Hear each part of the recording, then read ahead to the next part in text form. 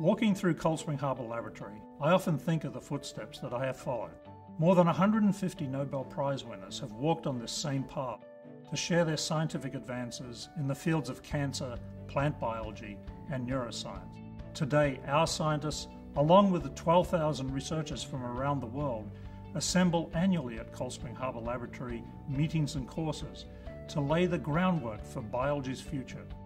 There's really no other place that I know of that has this combination of fantastic scientists on the campus, but also this convening ability uh, to bring other groups here uh, for some of the best meetings that occur anywhere in the world.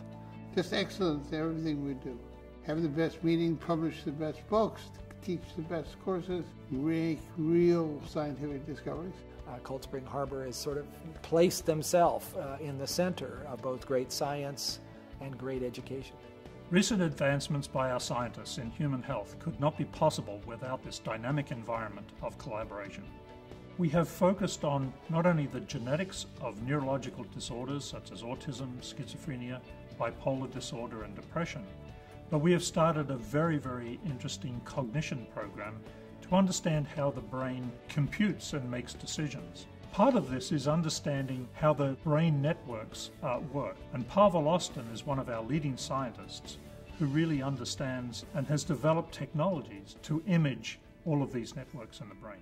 By screening uh, genetic mouse models of autism and schizophrenia, we can identify brain regions that are specifically changed in the mutant mice.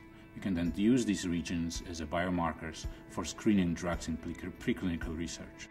This will enable us to really understand the full networks of the brain in the normal brain, but also understand how these are changed in brains with neurological disorders.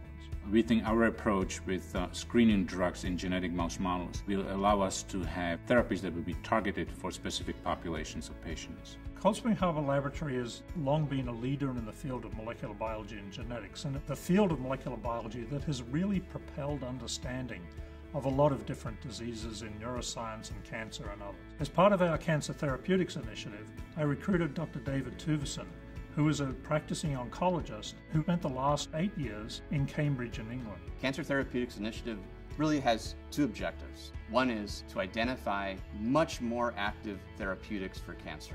The second objective, which is related to the first one, is to develop means for knowing whether our therapies are working. What do we need to do? We need to kill the cancer cell, it's obvious. But we need to do it in such a way that we see the cells dying and we see the normal cells living. We're looking to invent new diagnostics while we're developing these new therapeutics. These don't exist in the world today. Dave has come here to really help us lead the development of our basic research towards cancer therapy in the clinic. I think lab's in a very strong position to do something important. Without Dave, we wouldn't be as good. You know, we had to have a, someone whose job is to cure cancer. When I was deciding about coming uh, back to America, I got a phone call from uh, a mother of a patient. The mother was younger than me. The patient was younger than 15 and he was a patient at St. Jude's Hospital. They had seen the first case of pancreas cancer in history. And the mother asked me what could be done. And it was an awful conversation. I didn't become a pediatric oncologist because I thought that would be the hardest job anyone could ever do. Um, and yet here was a child dying of pancreas cancer. And unfortunately, the young fellow, he only lasted a few months. These examples become badges that you wear um, inside of you.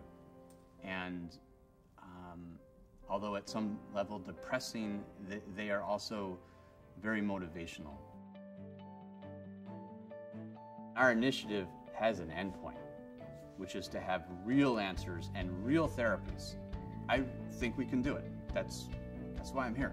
Not so in 10 years we can report about 10 new genes, but rather tell you important things about how we have real therapies for people you love and protect them from ever getting this problem in the first place.